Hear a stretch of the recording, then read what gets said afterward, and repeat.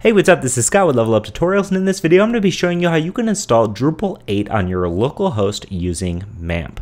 Now, this site is only going to be accessed from your own personal computer, and in many times you want to develop on a local machine to then move to an actual production environment later. So in this video, we're going to be installing Drupal 8 on OS X using MAMP. Let's get started right now.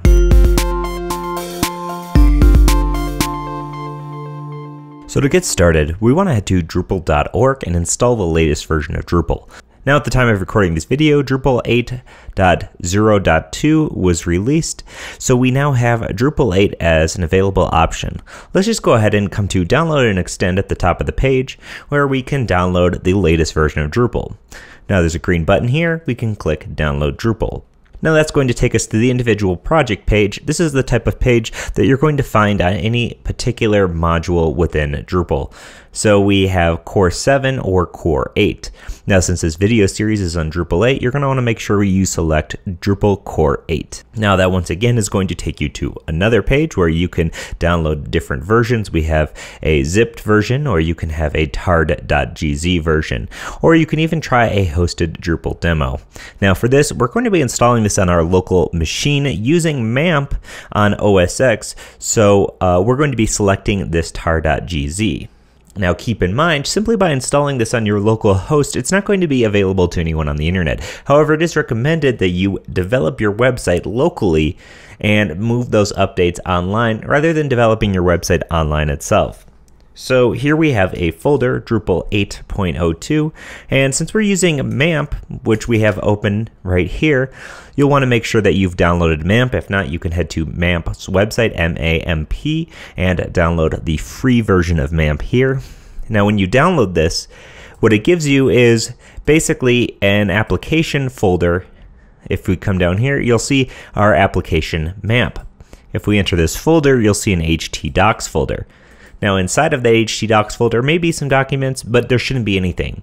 So now because there's some hidden files uh, in this Drupal folder that we want to make sure that we grab, by default OS X isn't going to show you hidden files. Let's actually just delete htdocs as a folder. There's nothing in there that you should need.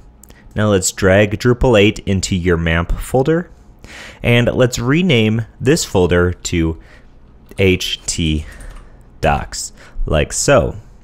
So now our htdocs folder should contain all of the Drupal installation files that we need. Let's head over to MAMP here where we can start our servers. So let's just go ahead and click Start Servers. And from here, that automatically opens up this page.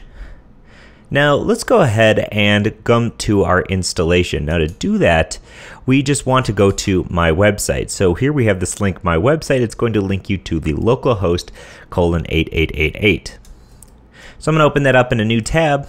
And as you can see, you should be seeing your Drupal installation. If you aren't seeing this, that means that your folder isn't correctly named htdocs or it's not in the correct location, which is applications, MAMP, and then htdocs. Inside of that, you should see uh, core, example, index.php, that sort of stuff. Okay, so now that we have this ready, let's go ahead and start our installation process. We're going to choose English, and right off the bat, you're already going to notice that the Drupal 8 installation looks a lot better than Drupal 7, and that's something that you might see repeated throughout the experience in Drupal 8.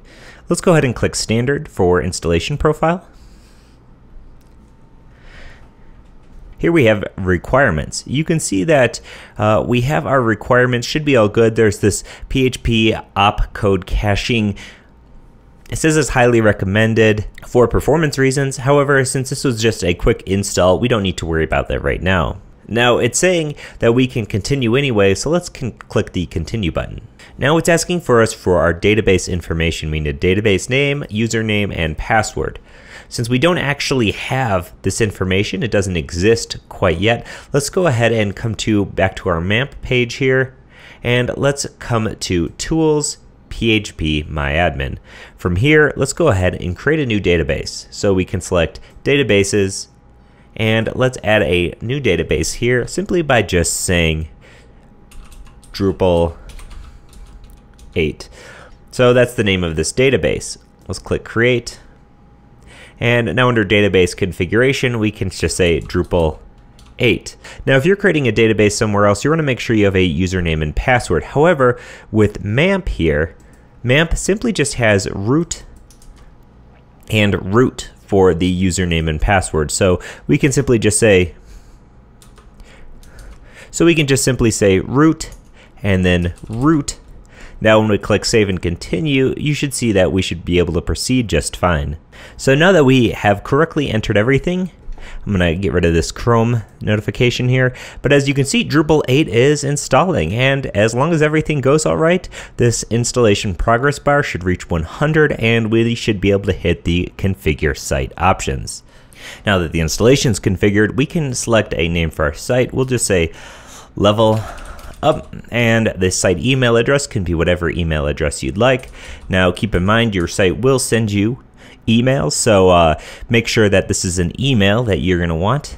Now for a username, I'll just have it something like admin password. I'm going to make a password. It's going to be weak. You should not have yours be weak. Mine is going to be uh, very weak just for the ease of these videos. You should want to make sure that your password follows all of the things that make a strong password that it, it suggests here. Email address, default country, I'm going to put in United States. And for time zone, it looks like it's set up through continent here uh, in Denver. So I'll select Denver. Now we can check notifications automatically. Now we can set to check for updates automatically or receive email notifications. I want to keep both of those checked, so I'll click save and continue. Now at this point, we should have a site once this completes. And just like that, We've been redirected to our page here. It's asking us if it wants to save our password in Chrome. I'm going to say no, only because I have this password memorized. But as you can see, we have a welcome to Level Up, and we have our first Drupal 8 site installed. Awesome. Now, as long as you got to this point, we'll continue talking about Drupal 8. If you'd like to see other methods of installation, I'll be covering those in other videos, and you can always come back to the next video where we start to talk about the admin, the front end, and the back end interface of Drupal. So as always, this is Scott with Level Up Tutorials. If you want to have access to the rest of the beginning Drupal 8 tutorial series right now before it's released on YouTube, you can head to store.leveluptutorials.com and purchase this series, or you can subscribe to be a Level Up Pro and have instant early access to all of the Drupal 8 tutorials videos. As always, this is Scott with Level Up Tutorials. If you have any questions or comments, leave a comment in the video, hit me up at Twitter or Facebook. I love to hear from you. Thanks for watching, and I'll see you in the next one. Bye.